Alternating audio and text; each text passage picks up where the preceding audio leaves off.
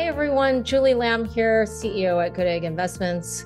This deal in particular, I wanted to just take a moment to talk about how this deal might fit into your existing real estate portfolio. When we think about investing here at Goodegg, we like the idea of combining our investment goals together with our accepted risk profile. Generally speaking, investments that have high risk also come with the potential for high reward.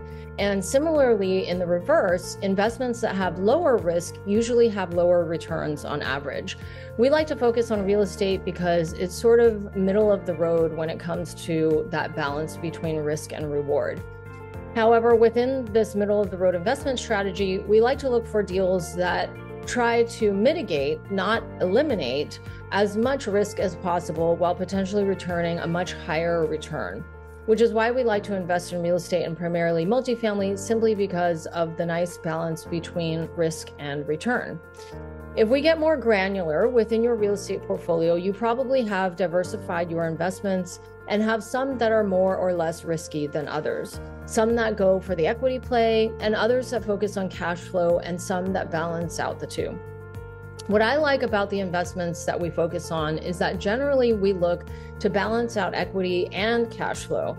However, there's always some amount of risk to cash flow due to things like the debt structure or the value add business plan that's being implemented in these multifamily investments. What I like about North Edge is that the value add has already been completed and we're going in with fixed rate debt. So, the two general avenues that can present a certain amount of risk have actually been removed. So, we get to step right into immediate cash flow and retain the upside on the back end of the deal. Now, this doesn't mean that there is no risk at all. Absolutely not. It just means that compared to other opportunities that we have offered in the past, this has a little bit of a lower risk profile.